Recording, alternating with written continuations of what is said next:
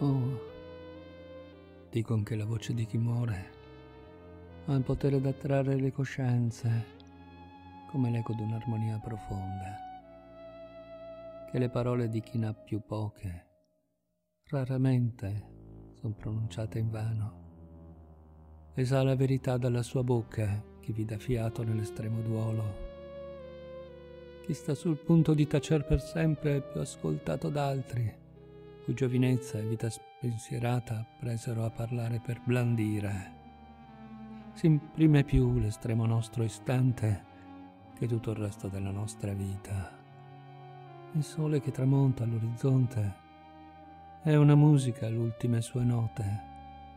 È l'ultimo sapore della torta più dolce, proprio perché alla fine destinato a restare nel ricordo più di quanto si sia gustato prima se Riccardo non ascoltò i consigli da me vivo. Che almeno c'è almeno da sperare che le parole dello zio morente valgano adesso a scuotergli l'orecchio.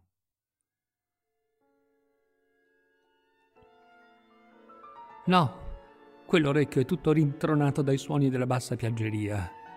Le lodi, il cui sapore è sempre dolce anche all'orecchio degli uomini saggi, le canzoni lascive al velenoso suono delle quali la gioventù dà volentieri orecchio, o l'ultime notizie delle mode, venute in voga dall'altera Italia, la cui maniera segue, scimmiottando con passo zoppo e in vile imitazione, questo nostro retrogrado paese.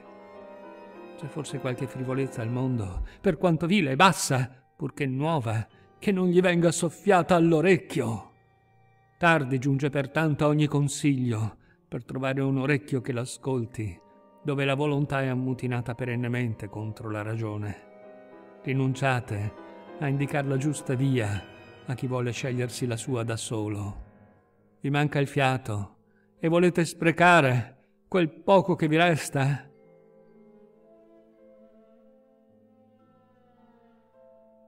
Mi sento come un profeta ispirato e nel trarre il mio ultimo respiro formulo su di lui questo presagio.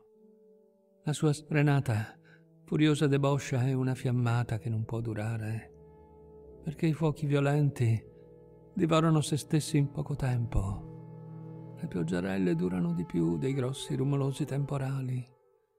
Cavallo, cui si è dato troppo sprone e presto stanco. Cibo trangugiato con ingordigia strozza chi lo mangia la vanità, insaziato cormorano, consumati i suoi mezzi, si fa subito preda di se stessa. Questo superbo nostro regal trono, quest'isola scetrata, questa terra d'auguste maestà, questo seggio di Marte, che natura si è costruita a farne sua difesa contro l'infetta mano della guerra, questa felice nostra stirpe di uomini, questo piccolo mondo, questa gemma, incastonata nell'argenteo mare che la protegge, come un alto vallo, il profondo fossato d'un castello dall'invidia di terre ma infelici, quest'angolo di mondo benedetto, questo nostro paese, questo regno, questa Inghilterra, nostra alma nutrice, questo grembo prolifico di principi, di stirpe regia, per quanto temuti, illustri per Natali, celebrati per la gesta compiuta fuori casa al servizio della cristiana fede e dell'autentica cavalleria, fin là dove nella Giudea caparbia sta il sepolcro del nostro Redentore, il figlio di Maria Benedetta. Questa patria di tante anime fulgide, questa cara, adorata nostra terra, cara per la sua gloria a tutto il mondo, ora è ceduta in semplice affittanza e mi vien da morire solo a dirlo, al pari d'un qualunque fondo rustico o di una fattoria da quattro soldi. E così l'Inghilterra, cinta da questo trionfante mare, la cui costa, con le sue alte scogliere, respinge l'invido, perenne assedio delle cuori o Nettuno, ora è cinta solo di vergogna, di scartafacci imbrattati d'inchiostro, e di vari strumenti di ipoteca vergati su marcite pergamene. questa nostra Inghilterra usa da sempre a conquistare gli altri, fa ignominosa conquista di sé.